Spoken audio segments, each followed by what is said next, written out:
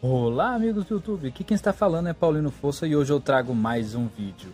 Um vídeo sobre ferramenta, mas primeiro eu já peço a você que não é inscrito que se inscreva. Assim me incentiva a postar novos vídeos. E vocês que estão se inscrevendo, muito obrigado. São vídeos variados toda semana. Faz toda a diferença. Estou pedindo que vocês se inscrevam para dar aquela focinha. Bom, sem mais delongas, o que, que aconteceu que eu assustei com essa máquina aqui? Volta e meia, sempre eu faço manutenções na ferramenta, mesmo que seja só de limpeza ou até alguma coisa de partes elétricas e até mesmo lubrificação.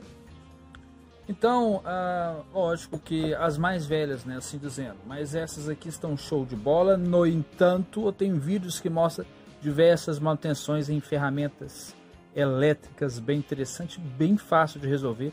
Muitas das vezes você nem vai precisar de sair de casa e nem gastar algum dinheiro.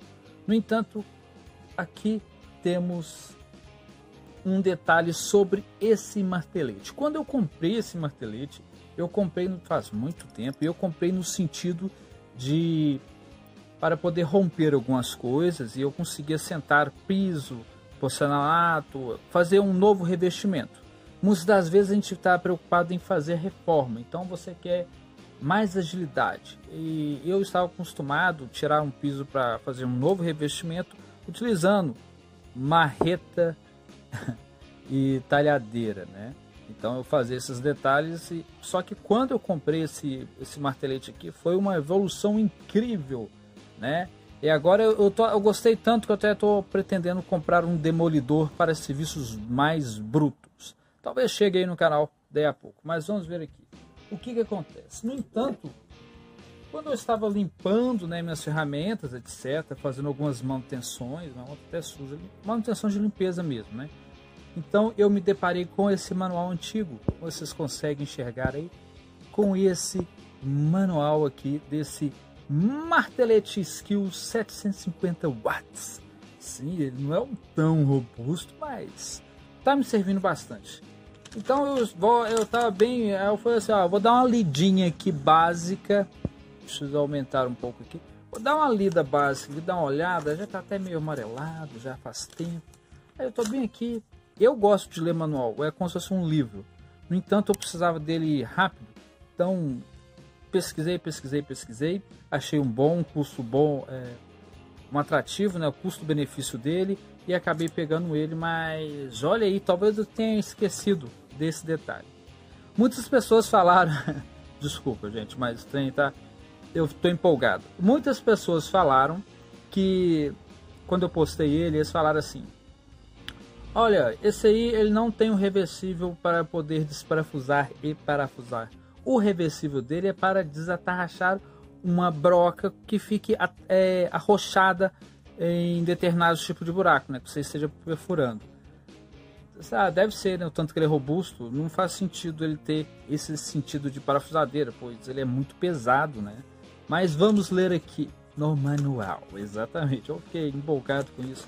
Quando eu estou bem vendo as figuras dele, mostrando aqui tudo que eu já sei, né? Que ele tem aqui é um modo de aceleramento ali no gatilho, tudo bonitinho, tartaruga com ele aqui e tal. Aí tem as rotações, velho aqui, um símbolo de madeira com parafuso.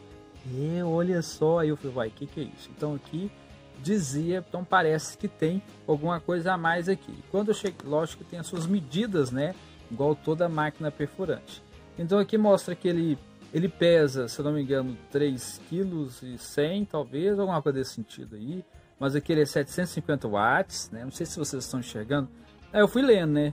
Aí ele tem as suas rotações, bruto, reverso, reverso, então engate rápido SDS, consegue perfurar até 13 milímetros, ferro, 24 é concreto alvenaria, monstro, né?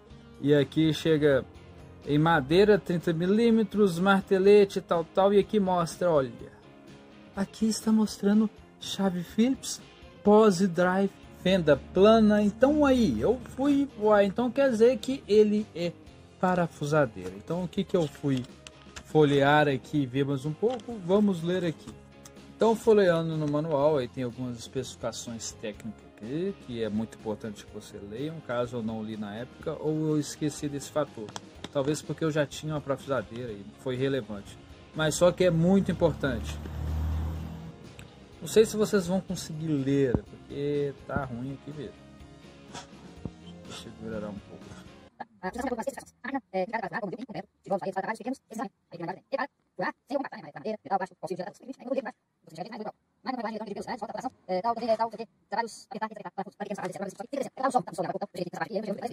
Para pequenos, trabalhos, etc. Alguma coisa desse sentido. Só que tem que estar acontecendo. É que eu tava no sol, tava no sol ali agora há pouco, então eu cheguei aqui nessa parte aqui e aí eu não estou enxergando muito bem. Mas é isso mesmo.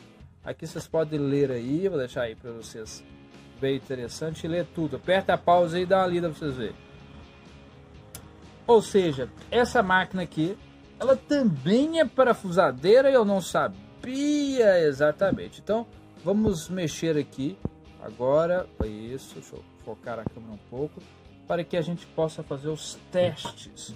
Então eu vou tirar esse essa ponta aqui. Aí. Olha.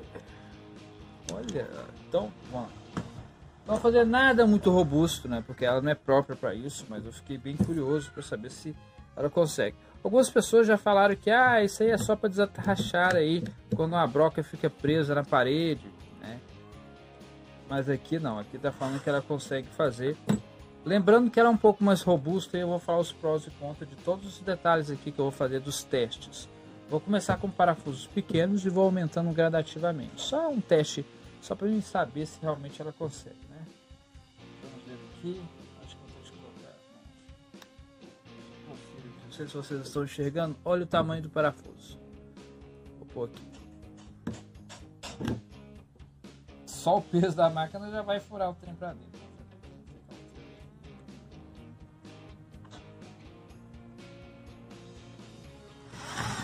Meu Deus.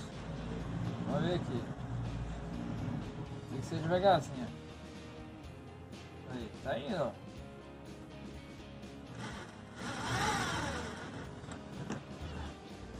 Bom, um foi. Vamos pegar um pouco maior aqui.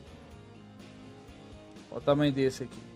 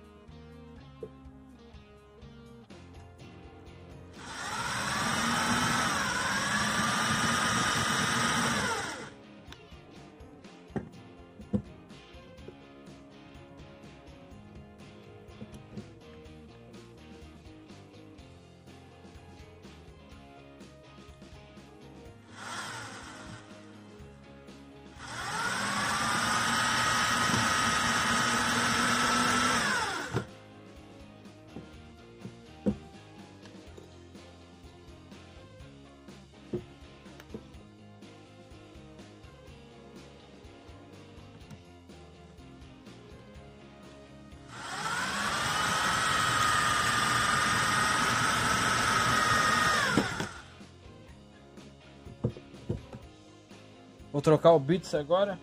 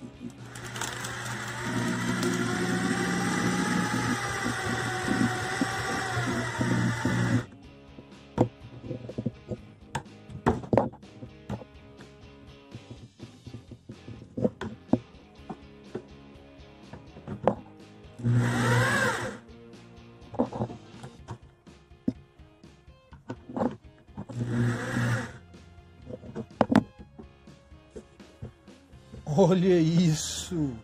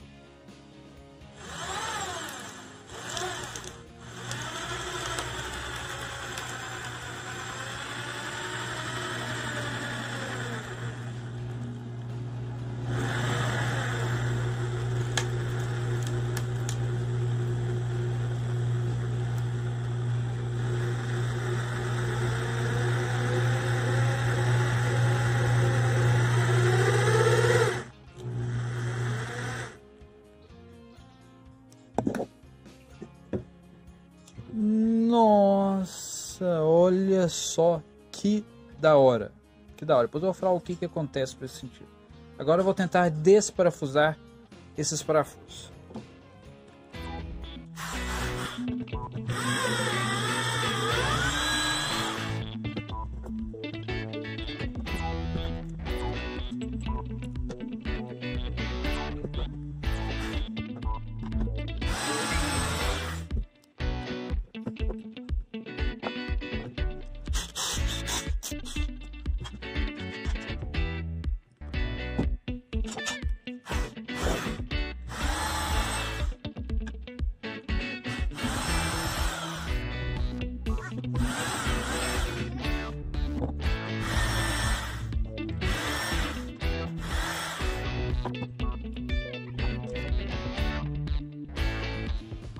Bom, e agora o veredito sobre essa máquina. Uma máquina que conseguiu fazer tanto é, parafusar parafusos pequenos que exige cautela, tanto parafusos robustos, né, que exige força. Mas temos alguns pontos a observar para esse sentido. Vou colocar esses parafusos aqui mesmo e vamos falar sobre. Aqui estamos falando de um martelete rompedor da skill de 750 watts que ele é meio monstro, né, para o sentido de parafusar e desparafusar. Uh, consegue, conseguiu sim, conseguiu, mas vamos observar. Quando a gente fala de uma parafusadeira, falamos de um torque regulável aqui na ponta. Isso faz com que, quando você estiver parafusando, você consegue saber exatamente qual o torque preciso para cada tipo de manutenção. E para esse sentido, vamos colocar uh, um exemplo. Então você está parafusando numa madeira mais robusta, mais rígida. Você vai começar no torque 1. Aí você começou a parafusar e você percebe que ela deu um aviso sonoro, que as parafusadeiras têm isso, é como se fosse um barulhinho de catraca, mostrando que ah, precisa de um torque a mais ou está tranquilo. E como que você vai ver isso? É assim.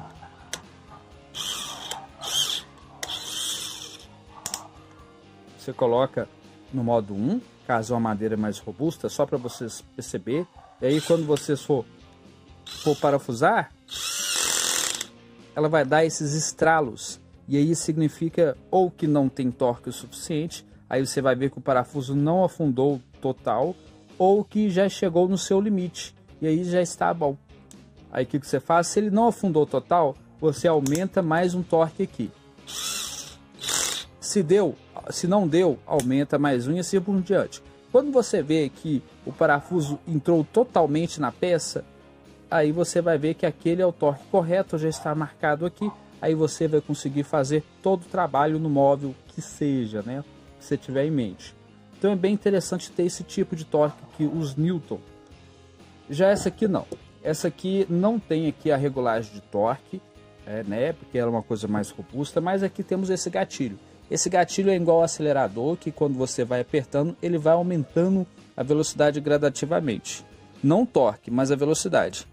Então isso aqui dá para você regular mais ou menos alguns fatores. Então você coloca, já que aqui temos uma regulagem de, de tanto de velocidade que vai, então aqui você vai regulando aqui, dependendo. Então quanto que mais você aperta, mais rápido vai ficar. Então quando você aí ó, você moda para esse, coloca para esse modo aqui, então você vai apertar menos, ou seja, vai rodar mais devagar. E é desse jeito que eu acho que você deve utilizar esse martelete como parafusadeira.